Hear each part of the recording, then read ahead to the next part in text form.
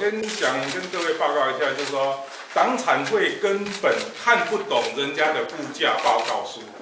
我是这样比较客气的讲，啊，如果恶意的讲，就是故意扭曲估价报告书的意思。估价报告书明明写的这笔的净值是四十一亿，但是他说是五十八亿，为什么四十七亿跟四十一哎四十一跟五十八亿差这么多？因为有一个增值税的问题，买卖土地要缴增值税，大家都天经地义，大家都知道，这党产会竟然不知道吗？目的是干嘛？就是泼粪，就是抹黑。我认为党产会应该要尊重专业，把报告书看清楚。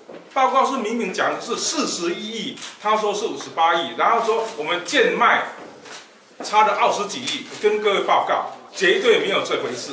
第二件事讲说，我们最后决定的价格，如果按照四十一亿来讲，我们最后卖的实际的价格是三十八点三亿，为什么会卖的比建估的价格低？是因为经过六次的流标。